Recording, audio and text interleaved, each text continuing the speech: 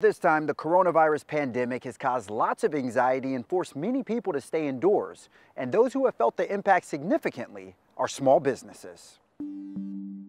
My small businesses, I've had it now for 21 years, and I think this has uh, absolutely been most striving times that I've seen. Henny Mortensen owns Bond Driving School in Sacramento County, and he's currently struggling to meet his payroll. I have long-term employees that are like family to me. They've been here, some of them have been here 12, 13, 15 years. Our goal was to uh, be able to have funds available so we can continue paying employees. Henny tried applying for the disaster SBA loan but was declined due to poor credit.